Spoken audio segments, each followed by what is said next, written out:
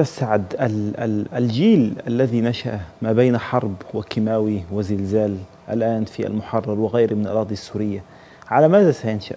هل هذا سيذهب إلى أن يكون يعني كافرا بكل الآراء الأخرى هل يذهب إلى أن يكون منعزلا عن كل الآراء الأخرى أم سيحاول تحرير وطنه كيف ستشكل العقول في مثل هذه الأوقات؟ نعم أقول لك بكل أمانة وكل واقعية بأن كل ما هو موجود في سوريا اليوم يعتبر المشكلة الرئيسية لديه هو بشار الأسد ونظامه آه، ما هو موجود في المحرر؟ هذا كلامهم. حتى الأطفال يتحدثون بهذه اللغة وهذه اللهجة وهذا الفكر بأنه حريتنا أغلى من آه، أن نأكل ونشرب. أغلى من بيوتنا. هؤلاء الناس تركوا بيوتهم لهدف معلوم وواضح. ما خرجوا من بيوتهم آه، سياحة للشمال السوري وما تهجروا حتى الذي يعيش في أوروبا يعلم جيدا أن غريمه الأول هو بشار الأسد ونظام بشار الأسد.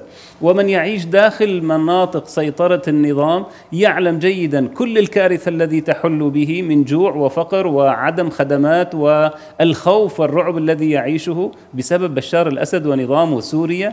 اليوم هي أوعى بكثير مما كانت عليه قبل 12 آه، سنة. اليوم الشعب السوري يعي جيدا من هو غريمه ومن خصيمه ومن الذي دمر بيوته ومن الذي هجره ومن الذي كان يعذبه في سجونه وفي معتقلاته على أيدي الأجهزة الأمنية التي لا يمتلك غيرها بشار الأسد آه، ويحكم بها آه، الشعب السوري بالحديد والنار. إذا يعني يبقى الهدف الوحيد الواضح هو إسقاط بشار الأسد. بالضبط. بالفعل إسقاط بشار الأسد. أشكرك أستاذ سعد الخطيب الكاتب المحلل السياسي للتواجد معك شكرا لك سيدي.